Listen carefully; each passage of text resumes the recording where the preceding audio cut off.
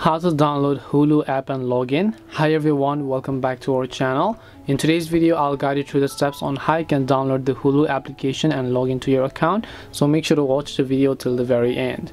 If you want to download the Hulu app and log into your account, all you have to do is just go ahead and then open your Play Store or your App Store, search for Hulu and then you'll find the official application. You just want to make sure to go ahead and then make sure to download the app.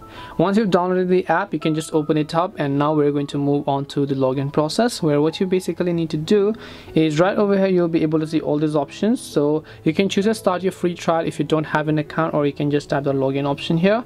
Once you tap on login option, you can simply enter enter your email and password and log into your account respectively. If you just happen to forget your password, you can tap the forgot password option in order to go ahead and basically reset your Hulu account password. That's all it takes to log in and download to the Hulu app. Hope this video was very helpful. If you have any questions, feel free to leave them down. Thank you for watching and see you soon in the next video.